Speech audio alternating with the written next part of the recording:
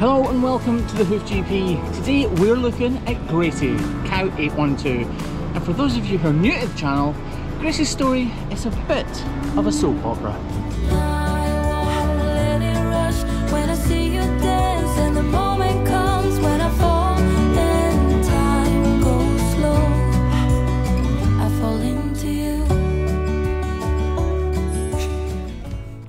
This is the now world famous Gracie. She's been watched by over 14 million people from all around the world.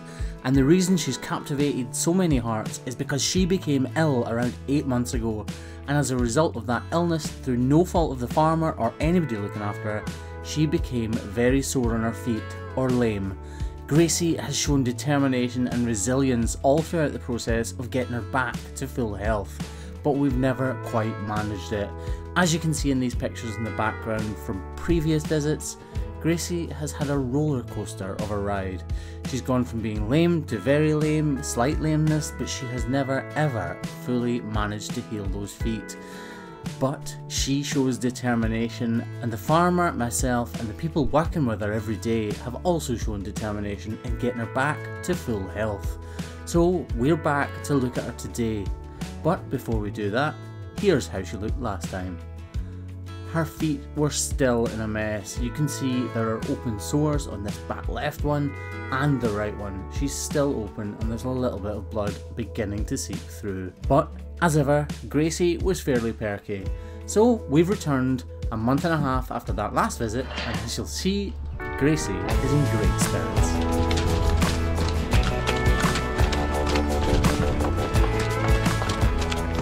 Definitely never seen her run before.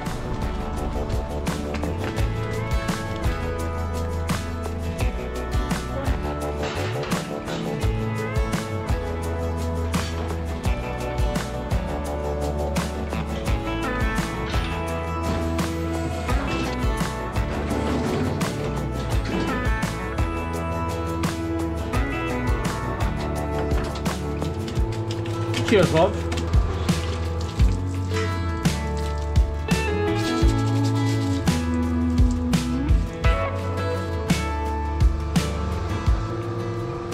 So first things first, we're still going to do a regular routine trim on her feet to level up and balance the weight between the two digits.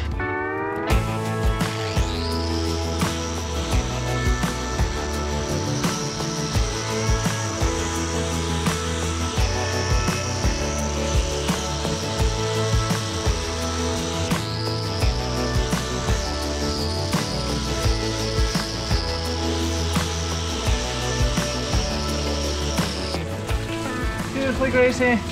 Kids show. Okay, so we've balanced the weight between the two. We've modelled out slightly on both claws, but it's not quite finished. And now we're gonna finish off this model, investigate this cracked horn, and check out what's going on with this part of Gracie's foot.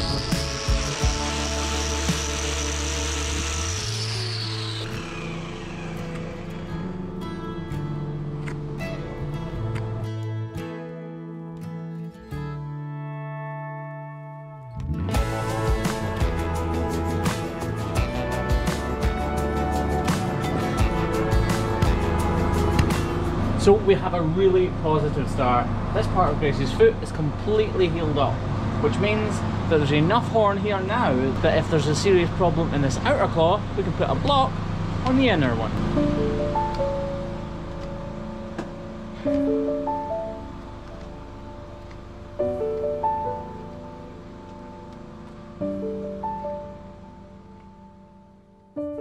It seems to have been an endless struggle for Gracie and I'm really starting to lose hope. Last time I thought she would be healed, but she wasn't. So this time, it's fingers crossed. As professional hoof trimmers, there's only so much we can do. The rest is up to the cow.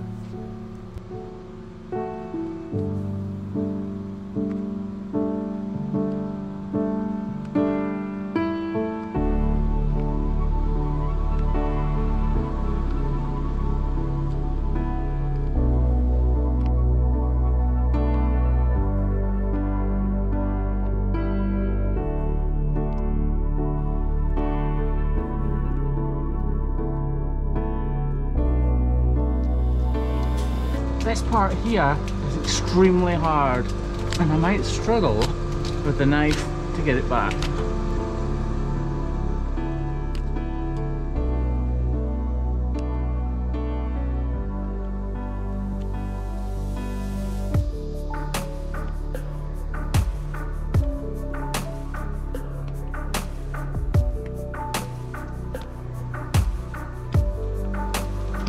So as you can see,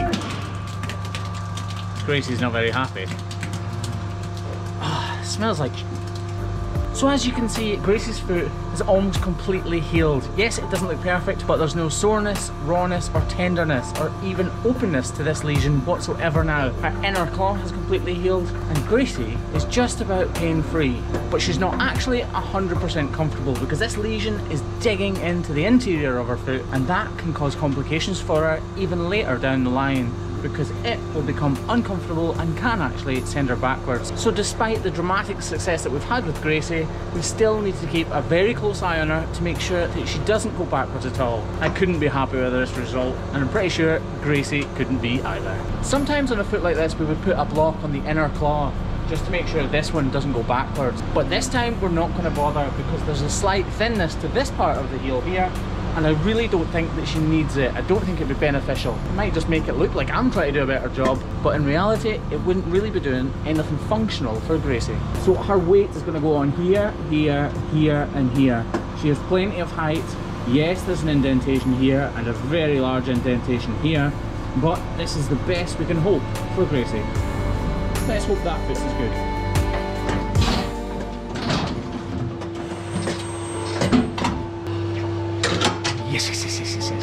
This foot doesn't look far away from being perfect. So all we're going to do for Gracie on this foot, this time, is give her a routine trim.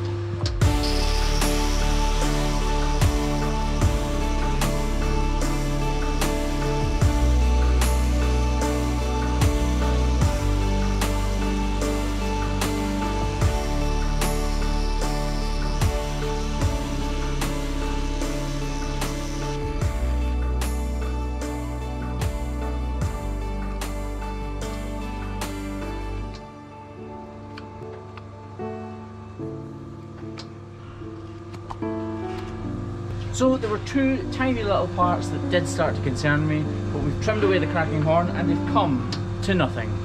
This inner claw is higher than the outer one, so this will take most of the weight and allow these little parts to grow back in. Happy days! There's been some ups and downs where Cow 812 is concerned, especially in my mindset on this channel. She's kind of gone like this on a roller coaster, and this is easily the best she's ever been I am so so happy that we've managed to get to this point and that the farmer's dedication to actually making her completely comfortable has paid off. Let's check out the Foofy.